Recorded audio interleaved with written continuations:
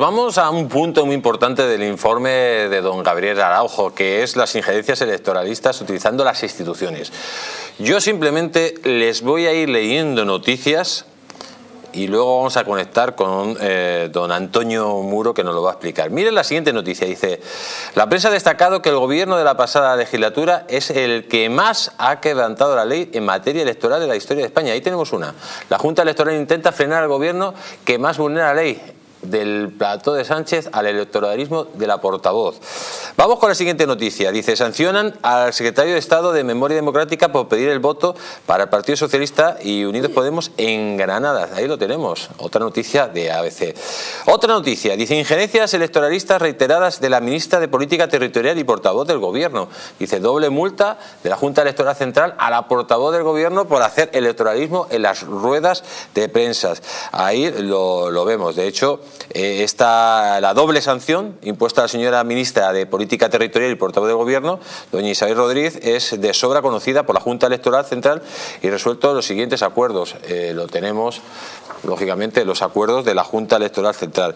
Aparte, se le hizo un expediente sancionador a, incoado por la Junta Electoral Central en sesión del 10 de mayo de 2023. Sigamos con más injerencia del Gobierno. Esta noticia es de la cadena SER, Atención, dice, injerencias electoralistas múltiples del presidente del gobierno. Ahí lo tenemos. La Junta Electoral Central abre expediente a Pedro Sánchez por unas declaraciones de este Bruselas a finales de junio. Y vamos a terminar, pues lógicamente, con todo esto porque en la reclamación contra el presidente del Gobierno, que tramitó la Junta Electoral Central por sus declaraciones en rueda de prensa ofrecidas tras el Consejo Europeo de los días 29 y 30 de junio de 2023, nuevamente el máximo órgano electoral sancionó al presidente del Ejecutivo, don Pedro Sánchez un escándalo. Y según nuestro experto, nuestro analista, nuestro perito informático que ha ido certificando todo esto, esto es uno de los puntos más importantes cuando hay un puchero 2-3J como el que estamos hablando. Tenemos al otro lado de Sky a don Antonio Muro. Buenas noches, don Antonio, ¿cómo está usted?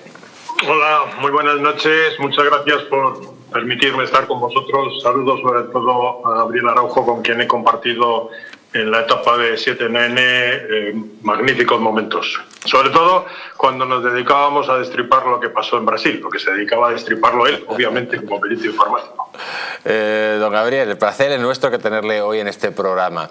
Eh, lógicamente hemos visto una injerencia constante electoralista del gobierno utilizando las instituciones, que es una, digamos, una de las bases para poder hablar de un puchero como el que estamos hablando en estos instantes. Cuéntenos usted. Sí, eh, yo creo que los datos que has dado tú, los que ha obtenido en, su investigación Gabriel, son enormemente significativos. Bueno, a algún espectador le podrá parecer que, bueno, pues una multa la portavoz del gobierno, una multa pequeña por aquí, otra por allá, que no, no parece demasiado importante. Yo creo que hay que globalizar un poco, aparte de que evidentemente nos olvidamos de una institución básica en todo el control y que depende al final si tiramos de la red del gobierno, que es correos. Y por correos, evidentemente, han, ocurrido enormes eh, cosas muy graves en las últimas elecciones. Todos recordamos lo que pasó en Canarias. Pero es que si del control de las instituciones hablamos, nos olvidamos de Indra, donde evidentemente, por donde pasa buena parte de todo el desarrollo informático de las jornadas electorales. Es decir, eh, vemos que eh, esas pequeñas eh, multas, que son hechos evidentes, que son constatables, que son probados, forman por parte, por utilizar la expresión que utilizó recientemente Alfonso Guerra, del proyecto Salchichón, o, decir, cortar en rodajitas. La gente no se va dando cuenta de cómo le están alterando todo el sistema democrático pero poco a poco nos estamos quedando sin él precisamente por no hacer absolutamente nada o por no ejercer una protesta a la altura de lo que está ocurriendo. Hemos visto las multas, no les ha pasado nada, hemos visto sentencias contra el gobierno, no ha pasado nada, hemos visto la utilización de Indra no solo en España, sino en otras partes del mundo, como ha ocurrido en Argentina, en Colombia, en Brasil, es decir, y no ha pasado nada, y poco a poco lo vamos asumiendo todo y cuando nos queramos dar cuenta, pues evidentemente no tendremos sistema democrático. Pero esto tenemos la culpa, eh, evidentemente lo primero los ciudadanos, pero sobre todo los representantes de los ciudadanos, que son los partidos. Yo oía hace un instante a nuestro anterior interlocutor, a nuestro anterior invitado, como apuntaba, y yo creo que con razón a los partidos políticos en todo lo que ha ocurrido. En instancias, años antes, cada vez que ha habido una digamos, una petición de revisión, por ejemplo, de Vox, ha conseguido siempre rascar algo, se ha demostrado que había algo. Y esta vez eh, ha habido un silencio absoluto, sorprendente por parte del PP, no, pero para mí sorprendente por parte de Vox. Y don, Antonio, ¿por qué cree que Vox, que dijo el señor Garriga, que iban a pedir el escrutinio general lo anunció, lo dijo públicamente, pero luego no lo ha hecho y de hecho ha habido hasta apoderados suyos que han puesto quejas y lo han tenido ahí en secreto, casi tapado. ¿Por qué cree usted que no han actuado según habían prometido hacer?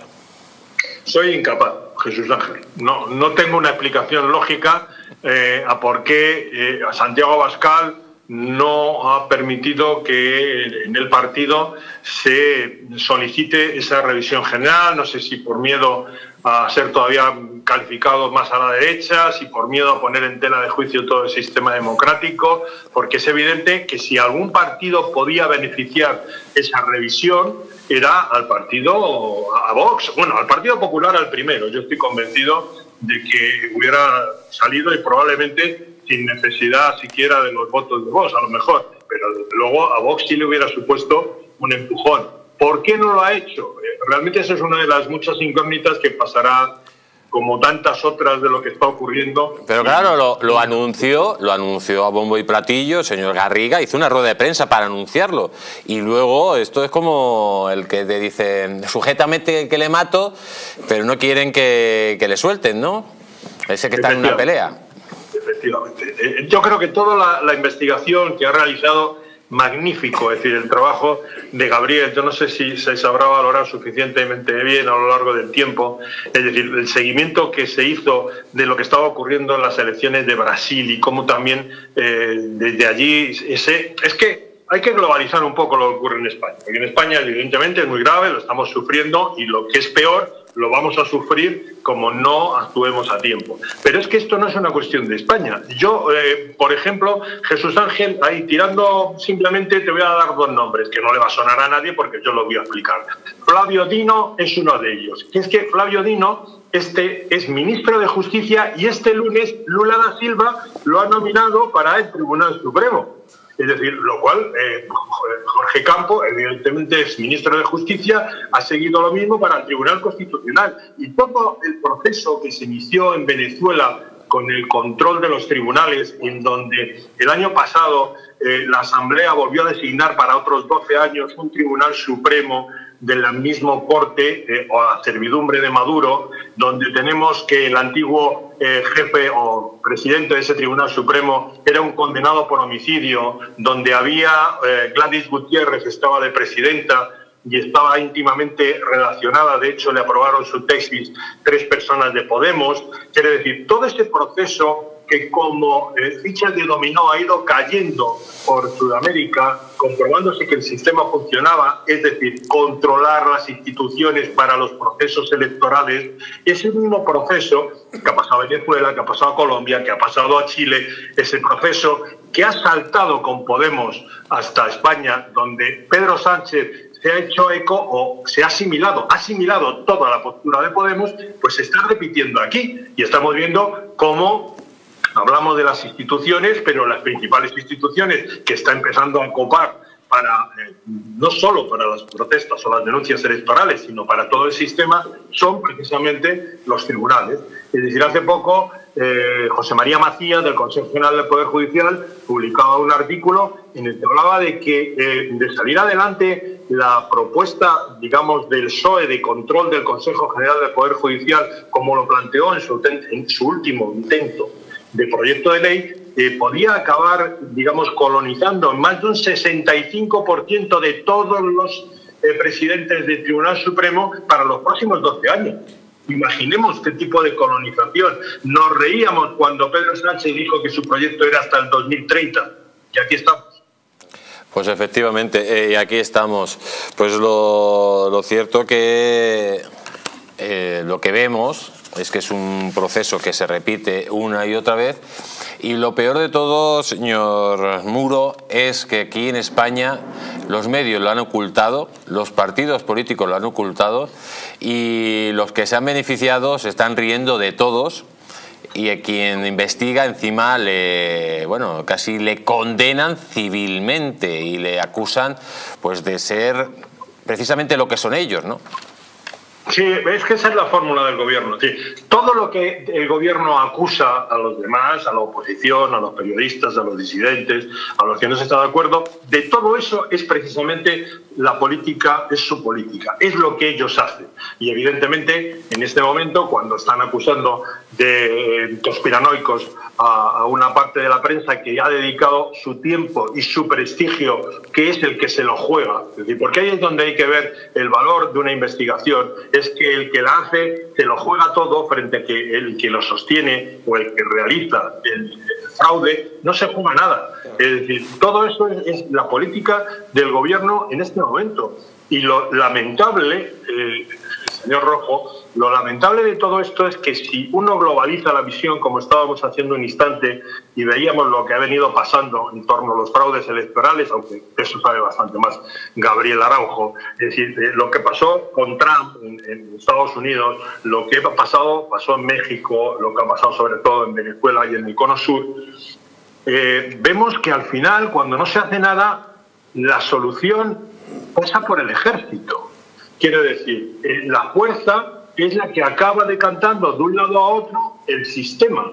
Eh, los partidos de izquierda siempre han tenido la fuerza de su lado. Es decir, en Venezuela, véase ejemplo siguiendo las directrices de Cuba probablemente y más allá arriba, es decir, al final es el ejército el quien colonizó las instituciones.